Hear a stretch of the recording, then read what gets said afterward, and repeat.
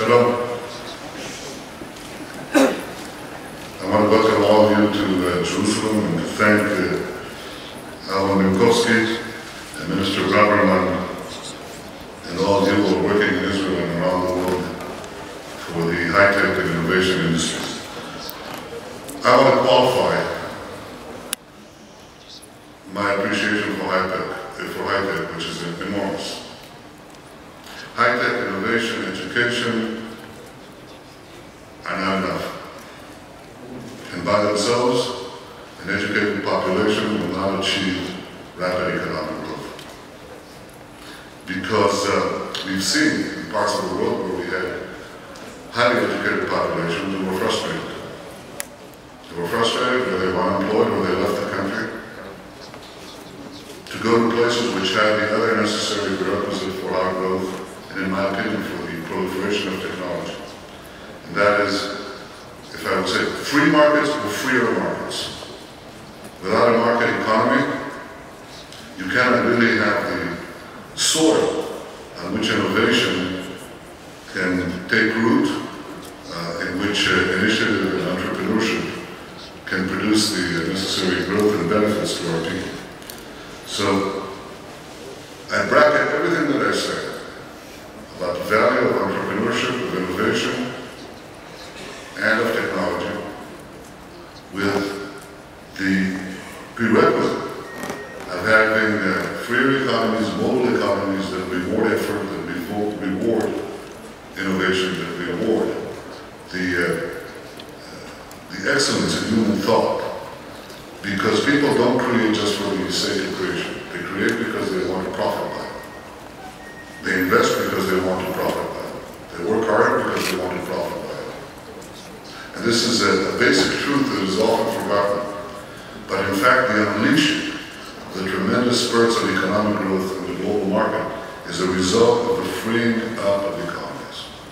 The addition of billions of people, well, at least a billion people, into uh, modern life into the 21st century, into the latter part of the 20th century, is a result of freer markets.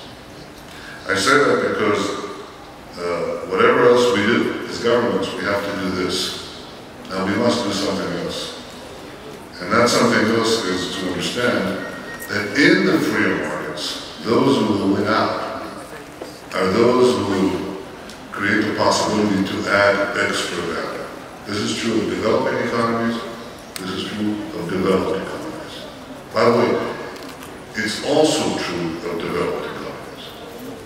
Because the developed economies, are, for the developing economies around the world, just creating the infrastructure of communication, the infrastructure uh, of financial uh, movement and other prerequisites, that's obvious. That creates and generates growth.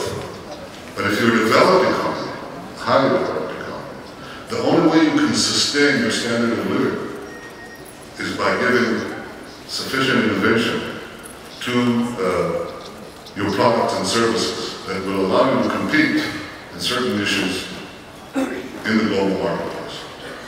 So free economies is a prerequisite. But innovation, technology is the second prerequisite. The two are becoming inextricably linked.